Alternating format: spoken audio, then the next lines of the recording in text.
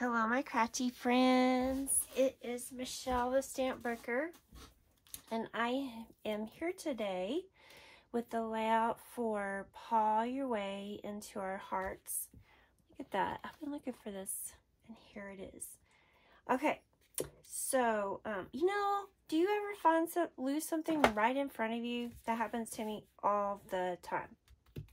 So, this, um, as you probably know, this is a hop, and so I'll have a list down below of my friends playing along. Once a month on the third Thursday of each month, we um, share a layout of one of our pets. So um, I usually scrapbook Finley. And um, so today I'm using a lot of Keep It Simple papers. These are called the Back to Basics papers. And let me just show you really quickly. Um, they come, um, you can get 16 double-sided cardstock sheets. They do have texture on them. They're nice and heavyweight. And they go from, there's kind of like three colors in each um, paper pack. So there's like a brighter one and then a medium and then it goes to a light. And they're double-sided and they have a nice 12 inch um, border strip that could be used. So this is the yellow and so on this each one also comes with these um, punch out ephemera bits so here's the one that is for Rose. Then here's that yellow one. And I'm thinking about punching all of these out and storing them either, I'm thinking in um, one of those uh, magnetic photo albums and um, putting them in those pages. So let me know if you would be interested to see how I end up storing them. So I've pulled all of these out from the papers and all of these um, colors like rose, royal, jade, they also come in 6 by 9 size. So I don't know how my white cardstock has gotten dirty, but it has. Okay, this, these are um, hearts that I cut out using that paper, but I actually used, all of these are the 6 by 9 paper, so it's just a little bit smaller scale. Um, the purple is from the 12 by 12 because I do not have the purple yet in the 6 by 9 So let me show you how I cut the circle cut the hearts. Um, let's see. You know, I try to be organized. So I'm actually using a slim line die that is made for cards, the slimline dies, a slimline card. And um, Keep It Simple has the slimline dies. Hello, where'd I do it? In hearts, circles, and squares. And so what's really cool, it took me a while to figure out how cool they were.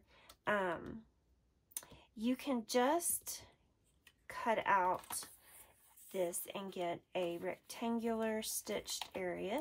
You can turn the hearts this way or that way. You can intermix them. You could have a heart, a circle, and a square. Or you can use them like me, and since there were three of them, I put them on my die cutting, manual die cutting machine. I was able to cut three hearts at a time. Um, somewhere I have the other sets. Not now. Okay, so, and then I just thought I would lay these out in um, a linear fashion and so I used a T-square ruler um, and I made these two match and then this one um, was just offset. So um, and then I tried to there's six colors and there's rows of sixes and so I tried to have a color in each, like a purple in each column and just spread them out where they weren't touching. Okay, so then I have this cute little photo of my little puppy dog. This was taken um, going on almost two years ago. It's when we took a trip down to Houston where my son goes to school and we took puppy dog with us and since he wasn't housebroken yet um we took our travel trailer and we stayed in our travel trailer and this was he he's like tethered right here. Anyway he's so cute. I i just love this little harness i had bought and it looks like i don't know baby blue. So um i printed this photo. It's a three by four and then i thought about it landscape and then also portrait and I've decided to go portrait. Okay. And then I just backed it. I actually um, made these like L's. I didn't want to waste the inside. Okay. Then I took this stamp set. It's with our new mason jar sentiments. There's a whole mason jar that you can cut out with a metal die. But so here are the stamps. And so I wanted it to say, you make life sweet. So I stamped it out in different colors to see which color matched the best. So I just took scrap paper this is Bluebell. It's a retired color from Close to My Heart. Um, this was, mm, what was it? Hold on. Oh, I can't read it. It doesn't matter because it doesn't match. Okay. And then I took um, Blossom is this pink. And then this one is Smoothie. So then I said this didn't match. So then it was down between these two. And since he's a boy, and I'm kind of showing the blue, where he's wearing blue, and then the first color underneath is blue, I decided to use the blue. Okay. But I still wasn't quite sure, so I went ahead. So this stamp set also comes with these outline dies. And I really like them because they are solid on the inside. And so if you have worked with clear stamps, you know it is easy to get a stamp that wiggles just ever so slightly. And you know the tip is just to kind of lay it down and then pick it up if you do have a stamp like that but um, I was surprised to find that because that does make it use more material. But so I have this stamp outline and then I have,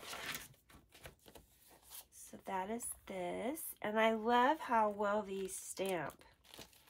I would say they're very comparable to Close to My Heart.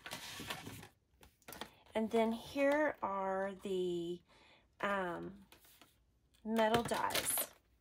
Okay, so I wasn't sure what shape I wanted to use. So I did cut out several shapes. And now I just have these extra for whenever I want to use this again. Now, if you notice, there are some hearts missing. So there's this set and there is this set. So after I cut all these hearts out, I wasn't really sure what direction I was going. So I took um, some of these, um, they're about three by three pieces of paper, and I took them And I cut out a bunch of hearts with the scraps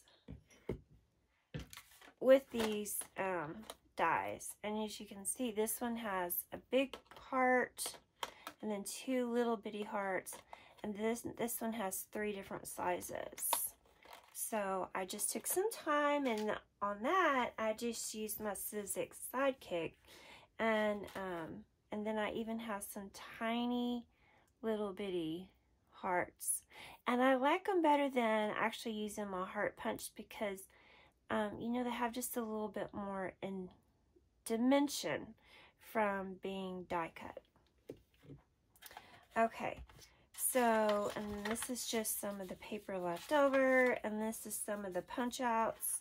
Now these punch outs, um, I don't know if you can tell, and I'm sorry, I am filming at night.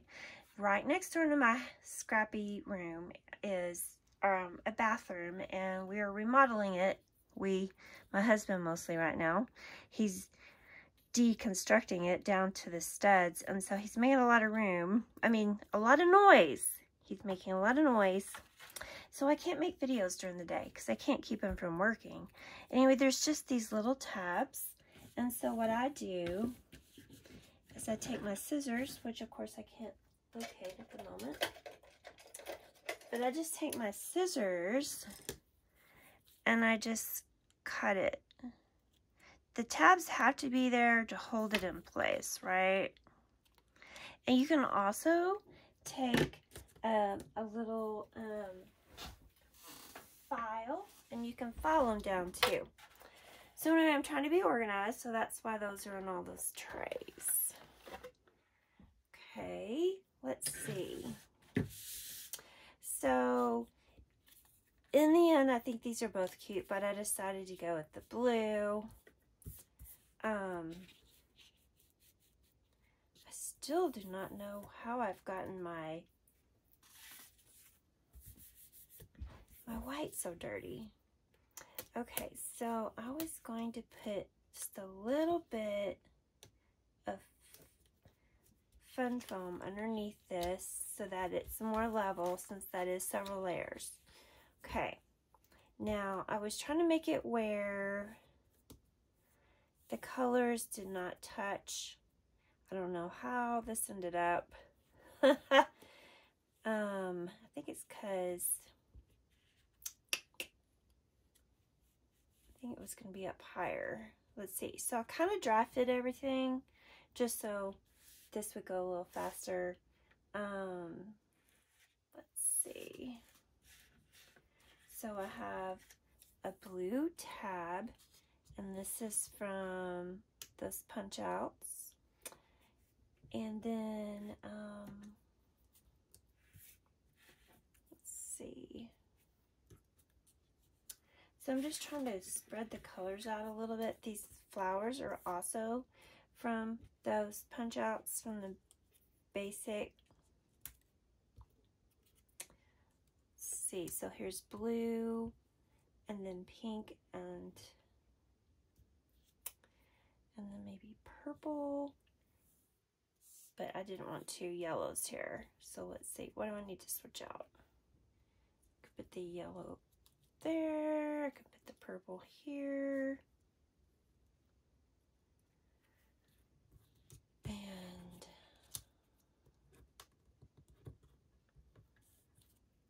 Basically, I'm just trying to make a um,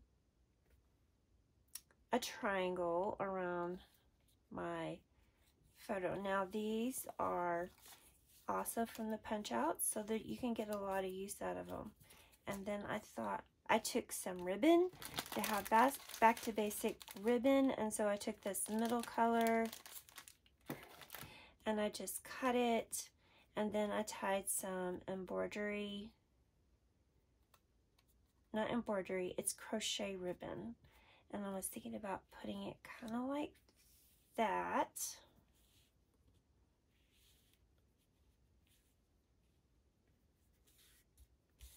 All right.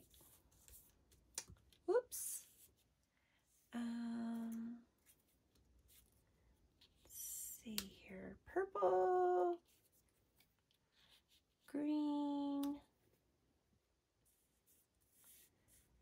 I'm missing something.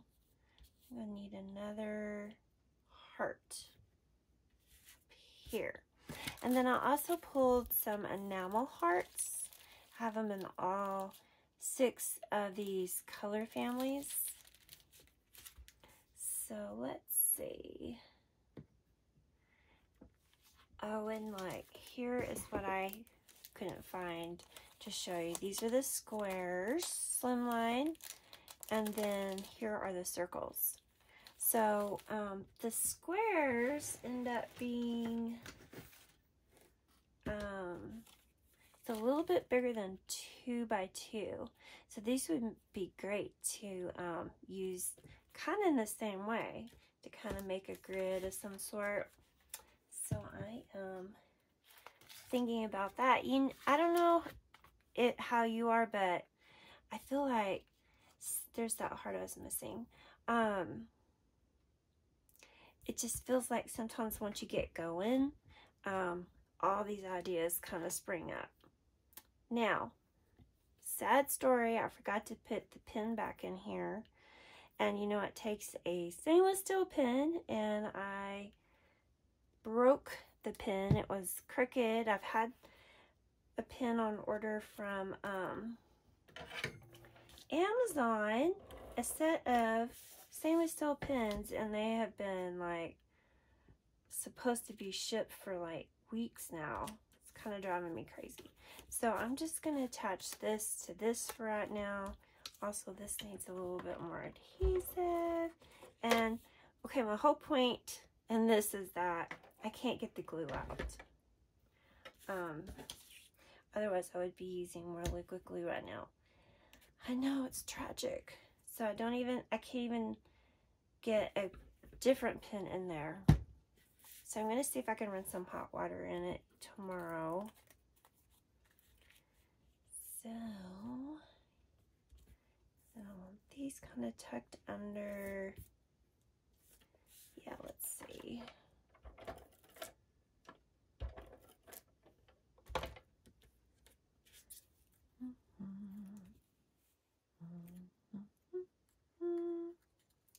Dear, I'm starting to hum like like I'm not on camera.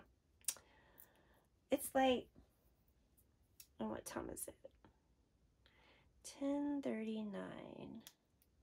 How about I come back when I've got it all figured out and you can see the final layout. Okay, I am back and I apologize again for my lighting. Um, so I did two scary things. One, I decided to add more black since I had the black here.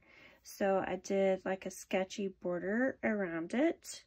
And then since I had a few marks on the cardstock, I decided to use my black shimmer trim, shimmer trim, my black shimmer brush and um, splatter. So I tried to kind of stick with the three clusters. And then um, I took all of these enamel hearts. And I put three in each cluster and I try to um like down here there's pink purple yellow so then I use blue green and the peach. Kind of tried to spread out the colors. Um so anyway here is my completed layout um if you're curious about my nails I know it's so dark. Um, these are a new company called Clio Color, and they have press-ons, and they have, um, also, they have not just press-ons, but LED gel strips and regular strips. So, um, these are staying on so well.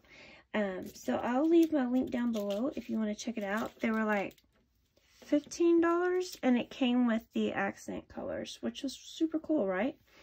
So anyway, thank you for stopping by and please check out all my friends down below who are also playing along and I will catch you next month. Bye-bye.